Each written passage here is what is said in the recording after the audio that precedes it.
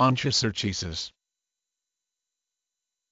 Onchocerciasis, river blindness, a disease caused by a parasitic worm Onchocerca volvulus which is transmitted to persons by biting blackflies buffalo gnats that breed in fast-flowing rivers. The adult worms can live for up to 15 years in nodules beneath the skin and in the muscles of infected persons, where they produce millions of worm embryos microfilariae that invade the skin and other tissues including the eyes. About 18 million persons are affected, mostly in Africa and also in Yemen and Latin America. Both living and dead microfilariae cause severe itching of the skin and sometimes blindness after many years. Until the 1980s, the main control measure was to use larvicides to kill immature blackflies in rivers. This method was used effectively to reduce the incidence of the disease in part of West Africa but is expensive. Since 1987, the drug ivermectin brand name, Stromectol has been provided by the manufacturer Merck free of charge to control programs for treating persons with onchocerciasis. This treatment,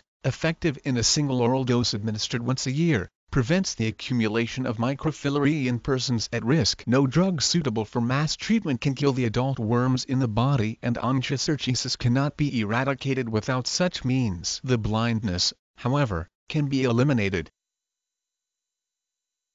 O-N C H O C E R C I A S I S. Onchocerciasis